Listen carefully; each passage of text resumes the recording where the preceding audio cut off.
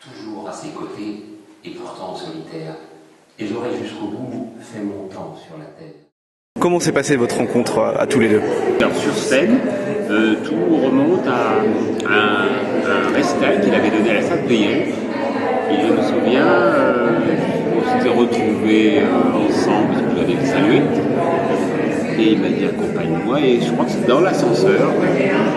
Comme il venait de voir que je sortais une anthologie des plus beaux poèmes d'amour, il m'a dit ce serait bien qu'on s'associe. euh, voilà. Et à ce moment-là, j'étais encore à TF1, je crois, donc je ne pouvais pas. Et, et on a repoussé un petit peu le projet.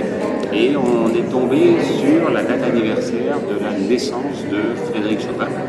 Et c'était en 2010, donc 200 ans plus tôt. Il, était né le 3 mars. Et ce jour-là, 3 mars 2010, nous avons donné un spectacle au théâtre du Randag.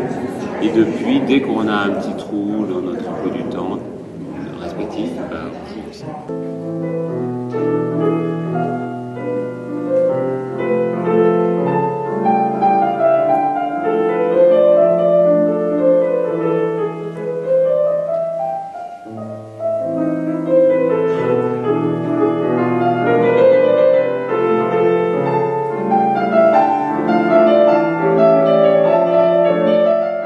Depuis 5 ans, votre collaboration est vraiment rodée. C'est rodé, et puis en même temps, c'est toujours euh, surprenant. On se surprend soi-même, d'abord parce qu'il y a des notions d'interprétation, dans, dans les textes et dans la musique, et puis aussi parce que ça dépend un petit peu de, de l'environnement. On a coutume de.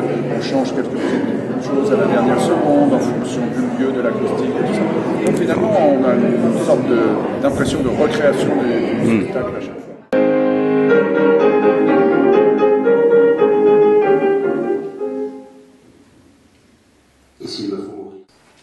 Mes calvaires torturés sous la pluie fine et grise, mes vagues écumantes qui, sans foi, agonisent, les sonneries lugubres que hurlent les églises.